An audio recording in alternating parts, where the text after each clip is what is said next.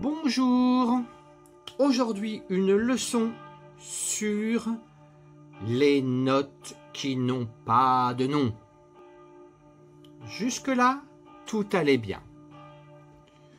Tu connais le nom des notes dans l'ordre ascendant?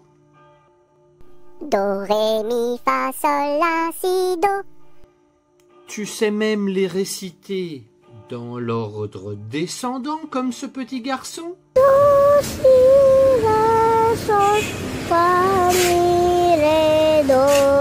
Tu peux aussi facilement les jouer au piano.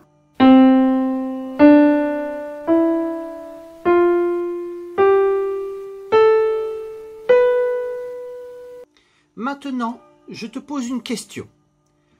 Combien y a-t-il de notes différentes dans une octave entre le Do grave et le Do aigu? Combien y a-t-il de notes différentes? Tu as 10 secondes pour répondre.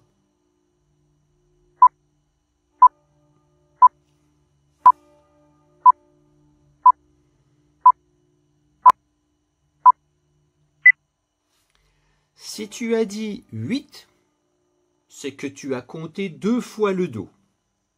C'est pas bon. Si tu as dit 7, tu as compté Do, Ré, Mi, Fa, Sol, La, Si. C'est pas mal comme réponse. Mais la bonne réponse, c'est... Attendons un peu. Regardons sur le clavier. Alors, regarde bien mon petit clavier.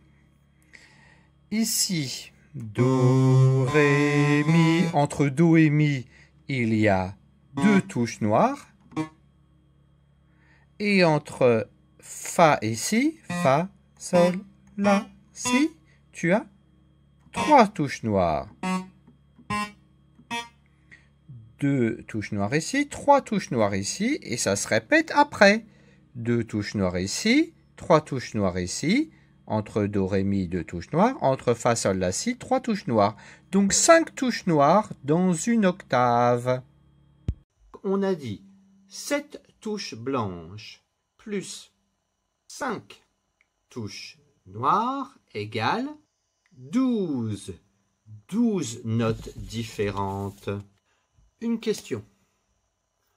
Entre quelles notes de la gamme il n'y a pas de touche noire Entre quelles notes de la gamme il n'y a pas de touche noire Je te laisse 5 secondes pour regarder cette image et 5 secondes pour répondre.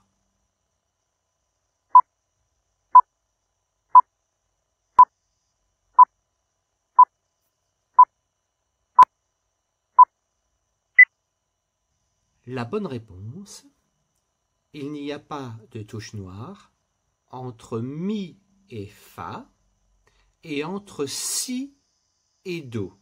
On dit qu'entre Mi et Fa et Si et Do, il y a un demi-ton. C'est un espace plus petit qu'entre les autres notes. Entre les autres notes, il y a un ton. Eh bien, ces notes noires elles vont prendre le nom des notes qui sont autour d'elles.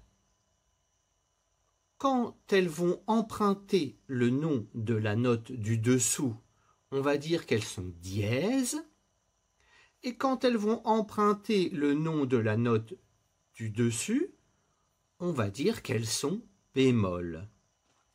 Imaginons que je suis la touche noire entre le Do et le Ré Eh bien, je vais soit m'appeler Do dièse, parce que c'est le Do qui va monter, soit Ré bémol, parce que c'est le Ré qui va descendre. Mais tu vois que c'est la même note, c'est le même son, il n'y a que le nom qui change. Do dièse si ça vient du dessous, Ré bémol si ça vient du dessus.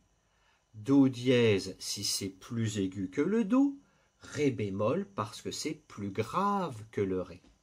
Regardons sur le clavier. Comme je te disais, la première touche noire entre Do et Ré. Elle est un peu plus aiguë que le Do. C'est comme le Do, mais il est plus aigu. On dit que c'est le Do dièse. Ou alors on peut dire que c'est le Ré qui descend, Ré bémol, Do dièse ou Ré bémol.